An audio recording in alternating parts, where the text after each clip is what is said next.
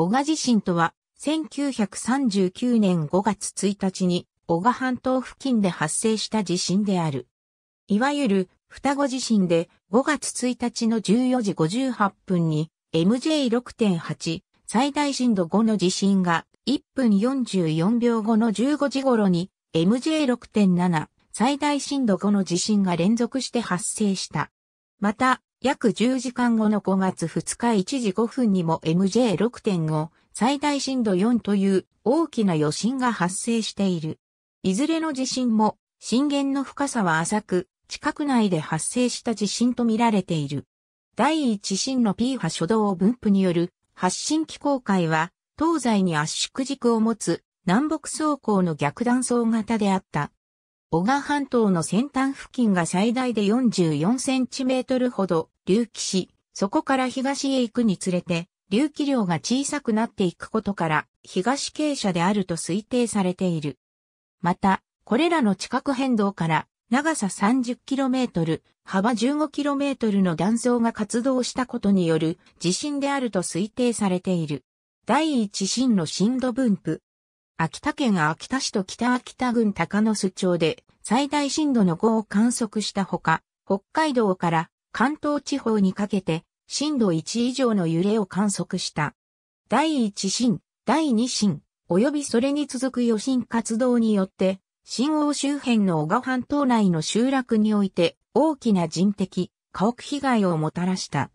人的被害としては、家屋の倒壊、土砂災害などによって27人が死亡、その他52人が負傷した。重火被害としては479戸が全壊、858戸が半潰した。中でも船川港町とゴリゴー村は被害が著しく全壊率が60%を超える地区もあった。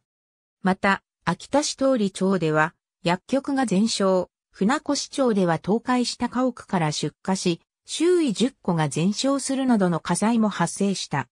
重火被害の割には人的被害や火災は比較的に少なく、この要因として発信時刻の午後3時頃は農村は概ね外に働き、水地の間にあったためと見られている。ため池、石、水路の損壊により縄代被害や水田作付け不能が150兆部以上が生じた。小川半島の各地で土砂災害が相次ぎ、北浦町、船川港町、小里郷村などの海岸線で大規模な地滑りが発生し、人的、家屋被害が生じた。船川港町付近の地滑りでは、船川線と船川街道が寸断され、復旧に支障をもたらした。津波被害は記録されていないが、味ヶ沢、野代、土崎、酒田で津波が観測され、各地点の到達時間から波源域が、小賀半島の東西、南北、約 2km の範囲と推定された。この地震から約129年前の1810年9月25日にも、小賀半島付近を震央とした M6.514 の地震が発生しており、死者60人、重火全壊1000個余りの被害を出している。ありがとうございます。